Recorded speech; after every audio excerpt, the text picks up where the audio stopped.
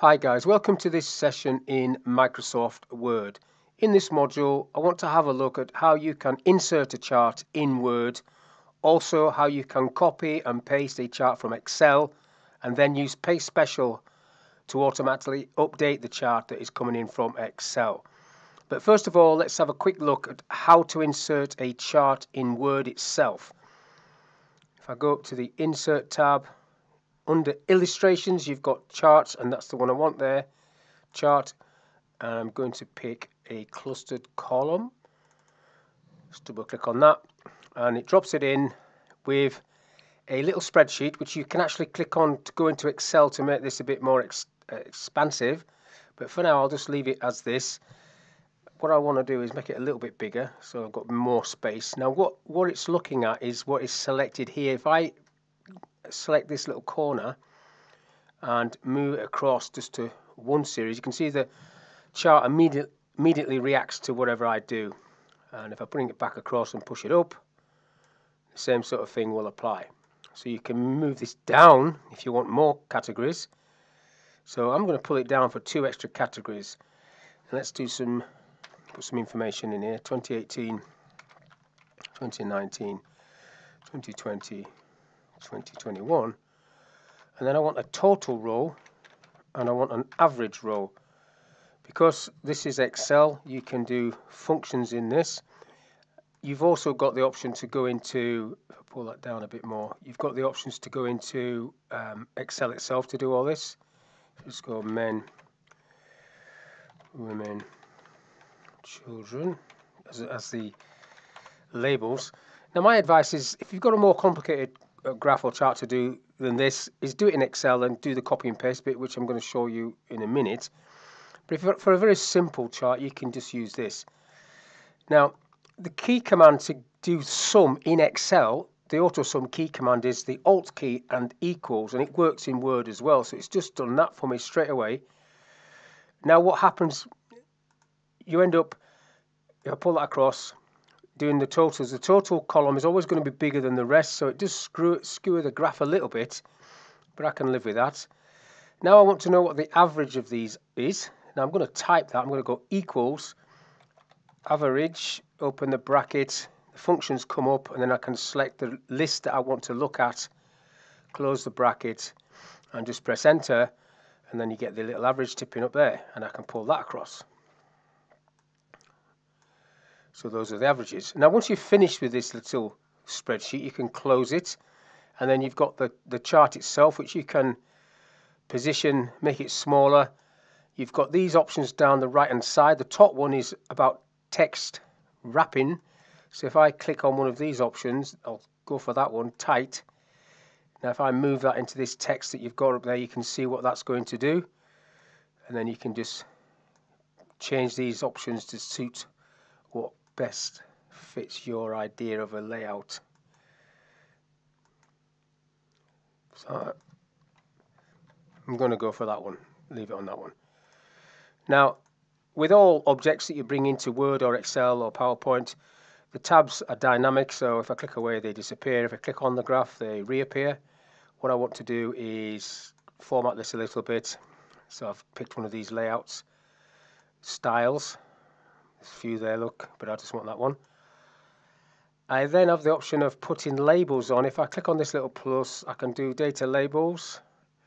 That looks a bit cluttered if I do them all, so maybe I'll just do it for the um, blue bars. click on the blue bars and then add the data labels just so I've got that focus for data labels.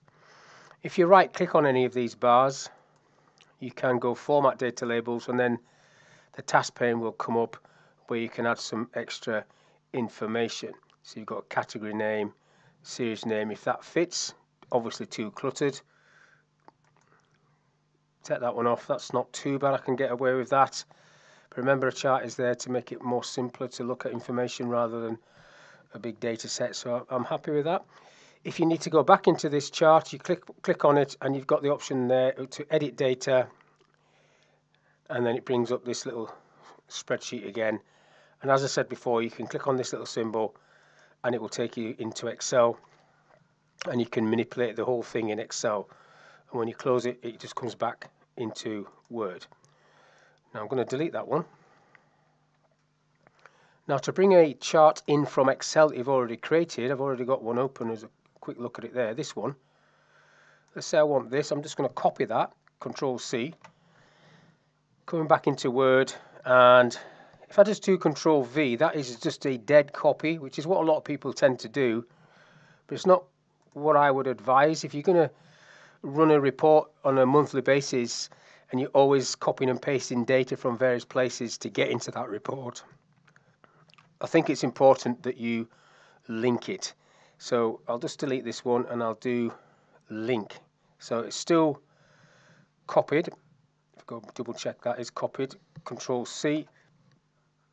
Back into Word. Going to paste special. Paste link is the key here and then that Excel chart object is what I want. Okay.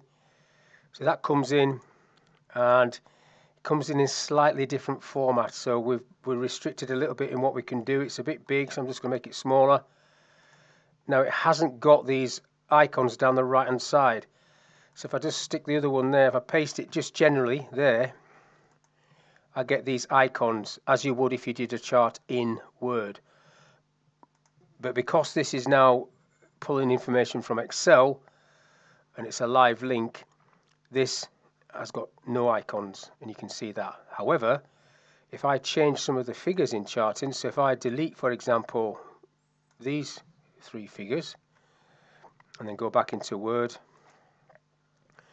has immediately picked it up.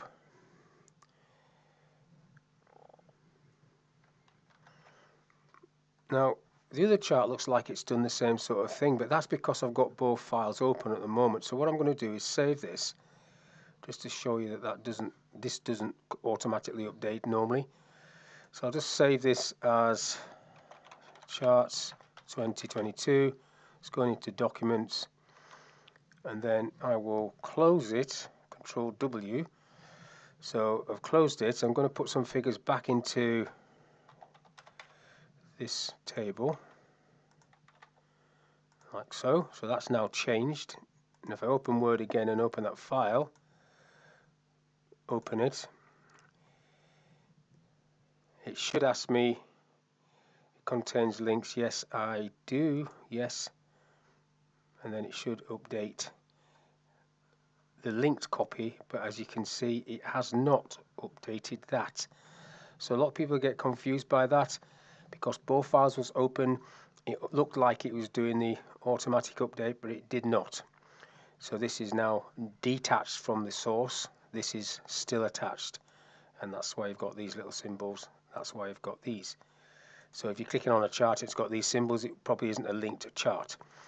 Now I'm just going to delete this one and what I would normally do if this is something I need to create going forward like every month my report I would save this as a template which I'm going to do so I'm going file save as so it's down as um, charts 2022 as a document, but if I drop this little arrow down, I can select Word template, save. Now that is a template, and if I close it, Control W, to open the template, I go File, New. But before I do that, let's just change some of the data just to make sure it is still working. So I'll delete those off again, so there's no data in that last column.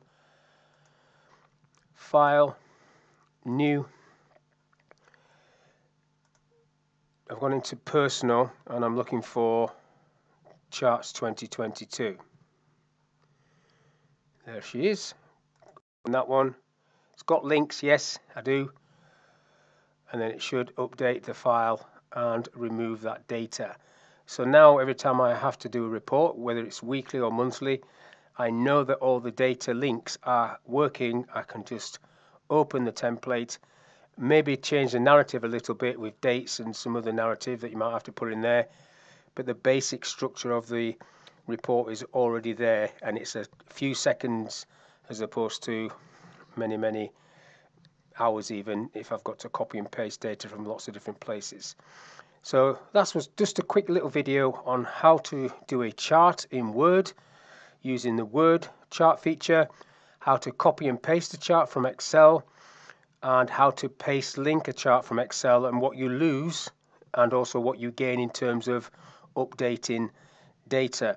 The last thing I went through was how to save a template in Word with a linked chart from Excel. So hopefully this little video was of use. Thank you for your time and I'll catch you on the next one.